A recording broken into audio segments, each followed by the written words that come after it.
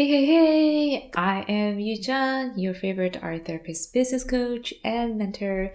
And this is where you can bust your limits and create the dream art therapy practice or business.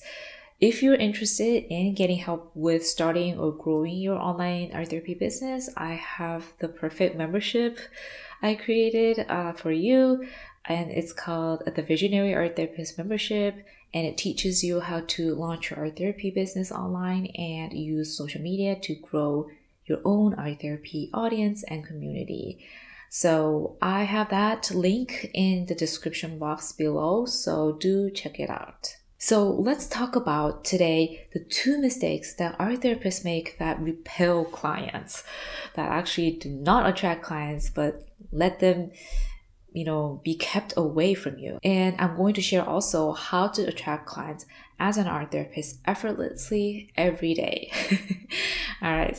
So the first mistake that a lot of art therapists make is that they have this blank slate that they uh, identify, you know, as approach in terms of approaching clients in sessions and outside sessions and promoting. So the blank slate is kind of this idea that a lot of therapists have. Uh, I think it comes from psychoanalysis often because that's when, uh, because that's kind of the approach where you have the therapist in the sofa, um, on an armchair maybe, and the client is on the sofa um, talking about their problems, and the therapist is just kind of this blank slate that just listens most of the time. Um, so we have this kind of idea that art therapist or therapists have to have this blank slate uh, inside the session, but also outside of sessions, right? In order to be a good therapist. So we have this idea that, you know, we need to have a neutral, aloof kind of appearance and stance in all things when it comes to our work.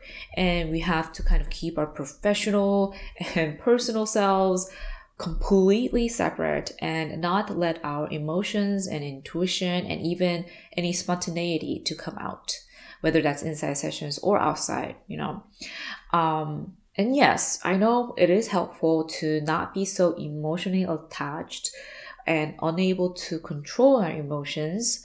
Um, you know, in sessions when working with our clients, right? Or just simply be unaware of what we're doing, right? No, no, we don't want that, of course. However, I think that so many art therapists and therapists try to become this blank slate uh, in general in all times and it actually just hurts our potential to expand our practice um, and attract and help more clients. Um, and actually even i think it actually nev- negatively affects our relationship with our clients too. Right so what i'm saying here is that like clients are really not looking for a therapist who's like a blank slate, right? Uh, they're not looking for a wall to talk to. They can just do that themselves at home, right? Why do they need someone else, a therapist, especially? So they're just not looking for a robot to listen to them all the time and even just give them the right answer all the time right? They're not looking for a computer to spew out the next perfect question or the next best therapeutic coping tool there is. No, they're here because they want to be seen by another human being. They want to be heard, they want to be held, they want to feel warmth right and openness of another human being and they want someone to believe in in the client right? They want authenticity from you. They want genuine kindness and enthusiasm. So they want really a real human being to be there with them.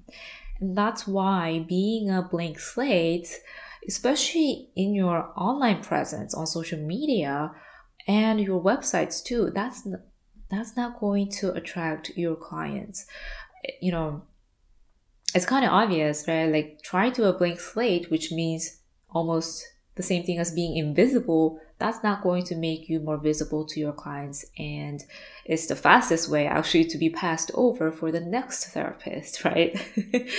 right. So the real lesson here is like, don't try to be neutral all the time. Do not try to be impersonal. It only makes you forgettable, really. Um, don't try to only do or say things that are right, things that therapists should say or do. No, don't try to wash away parts of your humanity, right? Actually embrace your humanity, embrace your mistakes, your humanness, your messiness, your thoughts, your opinions, your passion, and your uniqueness, most of all. Um, and that includes your personality and that includes your outlook on things and also your feelings about things and your way of doing things or approach of doing things right? Be unapologetic. Become your own center of gravity. Become your own self fully and completely. Live your life. Be the real you right? And let that be enough. As the art therapist, as the therapist, right? You know, you can step into your own authentic self, right? And you stepping in into your own authentic self um, actually gives clients the permission to do the same thing for themselves. When you become authentic, your clients become authentic. It's just how it works, right? One party becomes more authentic, the other party feels safe to also be authentic, right? And be empowered to own who you really are. That gives your potential clients the permission to do the same thing, to actually uh, be empowered to own who they really are too. So it's a beautiful thing that happens when one, the art therapist or therapist, opens up the other actually feels safe to open up as well and become their more, most human self. And you also want to uh, remember that you're an art therapist, right? You're actually already not the traditional therapist that people know about, right? so you're already different. You're already very, very unique. Uh, so what do you have to lose by being yourself more now? Because yeah, there's nothing else to lose because you are already unique. There's no hiding that. Um, so, you know what ha- happens uh, when you let go of that unrealistic blank slate, that, you know, therapist expectation, and actually step into the real you? You know what happens? Is that actually clients are going to flood to you that's what happens. Clients are going to be so excited to work with you. And they'll be like, oh my God, she or he's the one for me. Um, I want to see, I want to see her, I want to see, or I want to get her support, his or support. I want to be in that person's space, that art therapist space. That's what happens when you really just embrace yourself, be authentic, uh, and let go of the blank slate identity. All right, so the other uh, second mistake that art therapists, you know, really, really have a lot is trying to be perfect.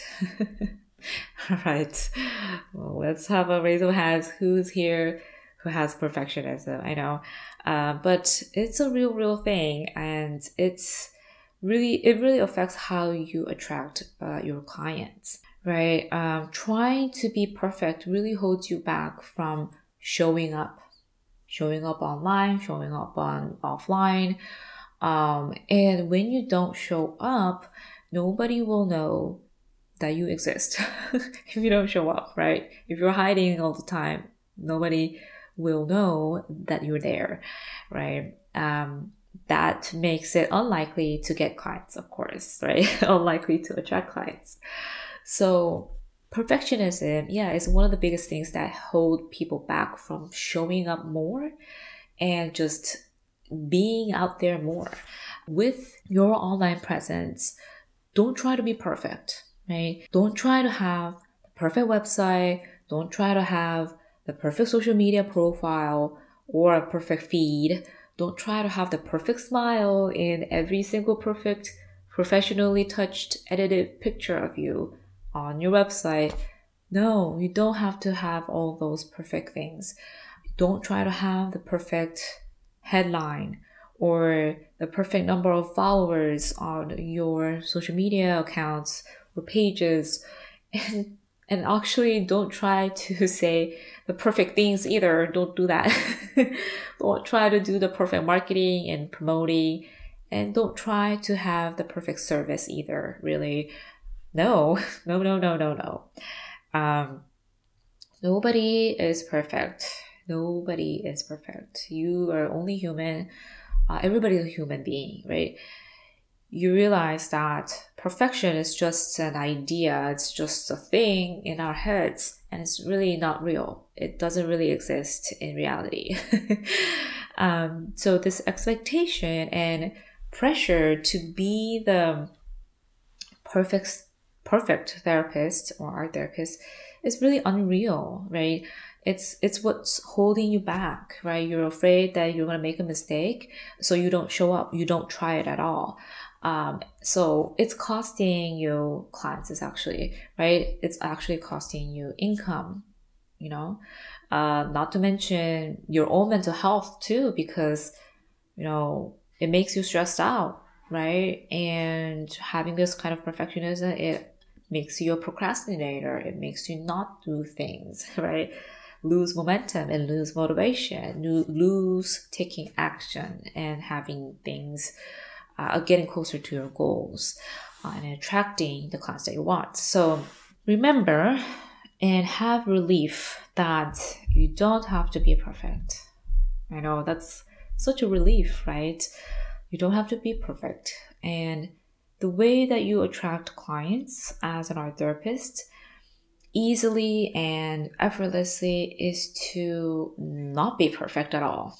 To not be perfect because if trying to be perfect makes you stuck, makes you not do things, makes you actually regress and be in a place where you don't want to be, right? So don't be perfect. That's how you're going to attract clients effortlessly and easily.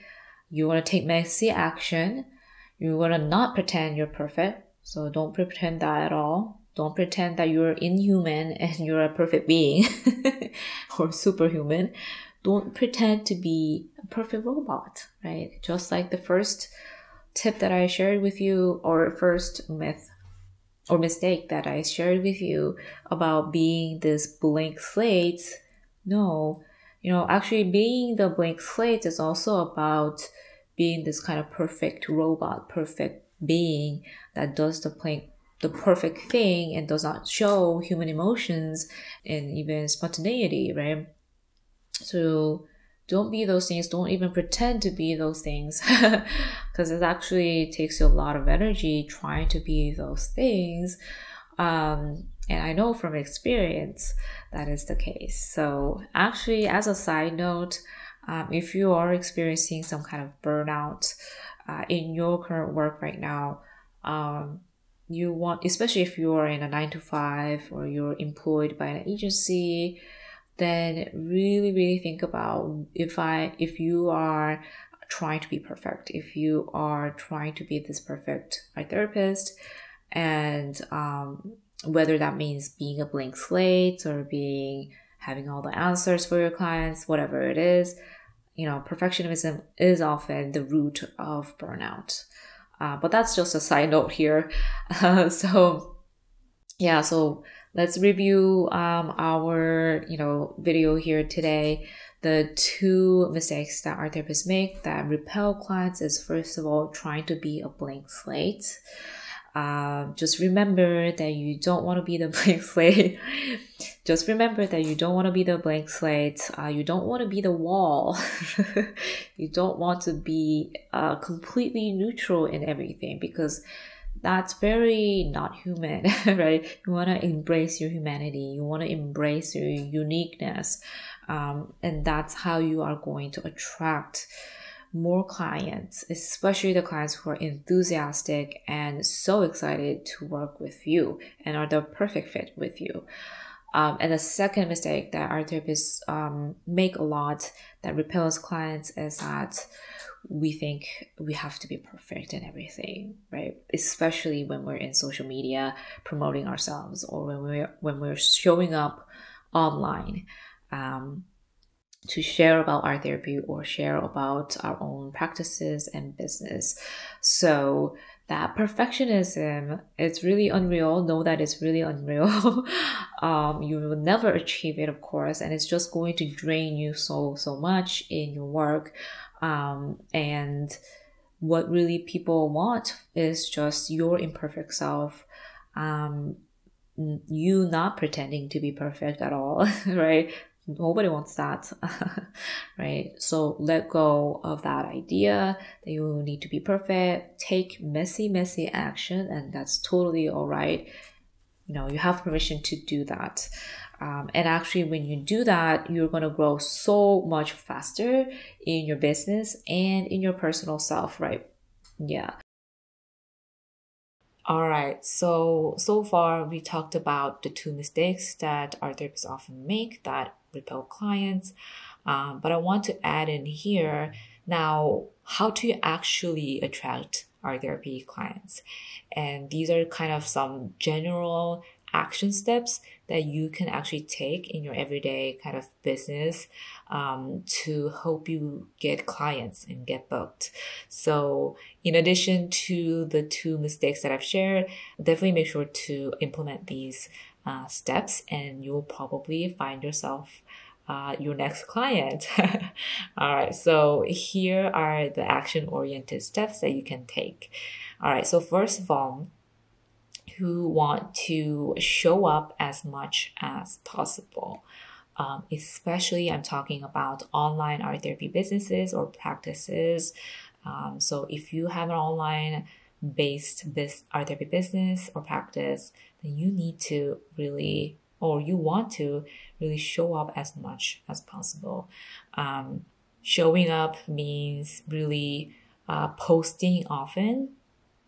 So publishing those social media posts as much as possible, um, like Facebook posts or maybe even um, uh, Instagram, whatever it is, Pinterest, YouTube, whatever it is, posting often and pretty consistently. Um, it also means share, showing up also means sharing your stuff, sharing um, your ideas, your thoughts, um, and giving a lot of information, sharing information about art therapy too, and your work as well. But also, showing up means interacting with people online, right?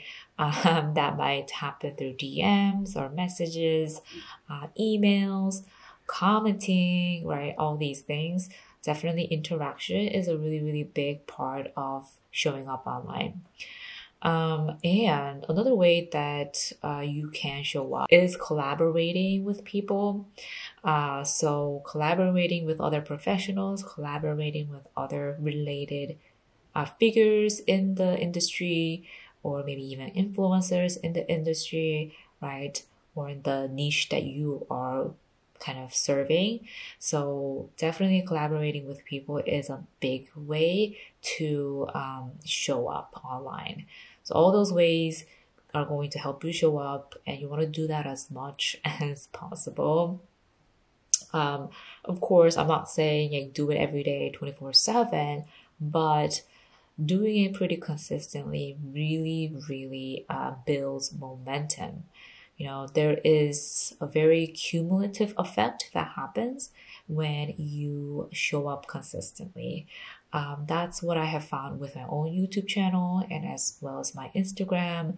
Uh, having a kind of consistent showing up or having a consistent showing up um, journey, right? That really helped give my business and my work momentum and really helped take off. Really, you know, it has, you know, in the beginning it can be slow, but I feel like whenever you are very consistent, you your growth is like it goes up pretty exponentially.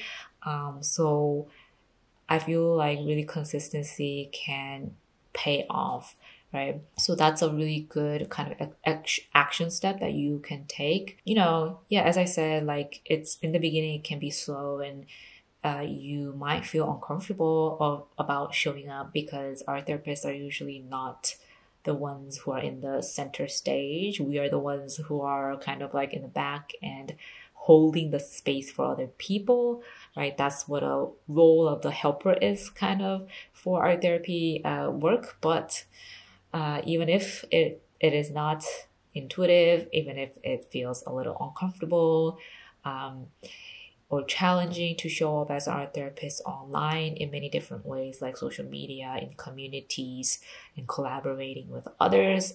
I really, really definitely still suggest and recommend that you do that um, because the more that you do that, the more that you gain momentum and um, attract clients, basically, because the more you show up, the more you get found by people online. And the more you get found, definitely you get more clients, right? Uh, somewhere in the audience or the community that you serve online, there will be potential clients. So, um, if you do really take action on this tip, you know, just know that it's going to get easier with time, even if you feel uncomfortable in the beginning or it's challenging and testing your patience. uh, know that it will get easier with time. And just also, uh, another thing that really helped me be consistent and do this as much as possible was to remember why I am showing up, right? And it can't be just for oh just for the money or just for the business right? It has to be a very big and deep reason why you're doing this. Almost uh, i would say even a spiritual reason for you to, to be doing this and showing up consistently. If you don't have that big reason if you don't have that deep root that's going to be the the the thing that gives you the nurturance and the energy to do and take action and showing up if you don't have that, then it's going to be really, really difficult. It's going to be like, you know, holding on to straws, right? Basically, it's going to feel so much more uh, difficult and energy and training too. So know that. Um, but if you have that reason, that big reason, and the big why behind you showing up online, then it's going to be so much easier. It's going to be so much easier to be consistent and show up regularly. Um, and enjoy the process too, really. um, so, the other tip, the action step that you can also take is to give as much information slash value as possible for people when you do show up in your community or in your online platforms and social media. So when you show up, you want to um, be sharing something very valuable for your potential clients, for your ideal client audience, right? Um, if it's not valuable, if what you're sharing is not valuable for your potential client why why would they listen right? Why would they follow you? Why would they listen to you? Why would they look at your post right? They will just skip to the next thing because there's a lot of distractions on social media so that's so easy to do right? Um, so you want to give as much value aka maybe information or impactful or meaningful kind of pieces of content to your audience uh, online when you show up. So, this is a very important thing. So, in general, it's really good to give as much value, um, as much meaning and information, and something impactful uh, through your content when you are showing up online.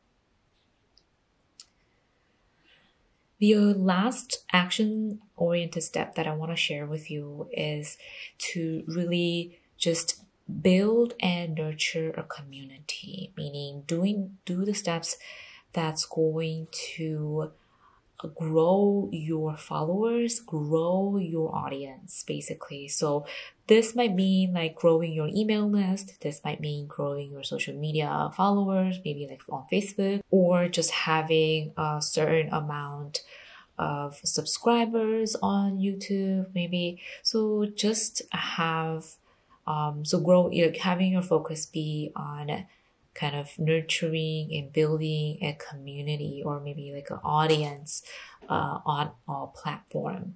Um, so really, I think that community is everything in terms of an online business. That's where your clients come from. That's where um, you can always kind of connect with people to do market research or learn what you need to launch next, what service you need to offer for people, what people need, right? Um, and it's really when you have a community that follows you um, and loves you and enjoys what you offer, um, it's so easy to consistently have clients. It's so, so, so easy uh, because you're not really worried about, oh, randomly, when am I going to have a next client? Because you always have a community that you can tap into, right? Um, so imagine, right, just that you have access to thousands of people uh, at the tip of your fingertips. That's what it means to have an audience online, right? So imagine that you have thousands of people at your fingertips and that you can talk to them about your services, right? Every time you show up then imagine how that makes it so easy uh, for you to get booked regularly. Because every time you show up, you're letting people know, thousands of people, uh, that you have services and you they can book you, right?